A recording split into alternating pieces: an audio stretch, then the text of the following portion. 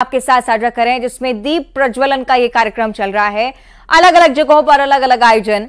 न सिर्फ़ अयोध्या में, बल्कि पूरे ही देश में आज दीपावली मनाई जा रही है। दीपावली के दिन भरपूर उत्साह रहता है और रात में रोशनी की जाती है, जगमगाता है पूरा देश।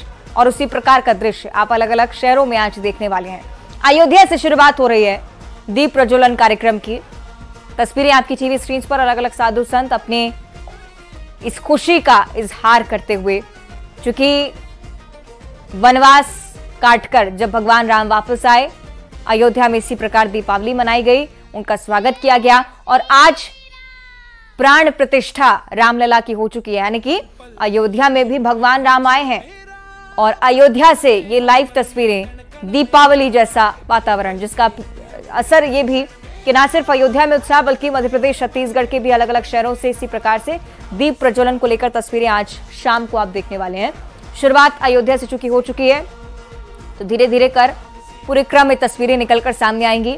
फ़िलहाल दीपोत्सव, यानी कि दीपावली मनाने का ये क्रम राम मंदिर प्रांगण में आपने देखा है और अब अलग अलग मंदिरों में इसी प्रकार से दिए जलाकर पूरे उत्साह के साथ भगवान राम के आगमन को मनाया जा रहा है। भय प्रकट कृपाला कहा जाता है।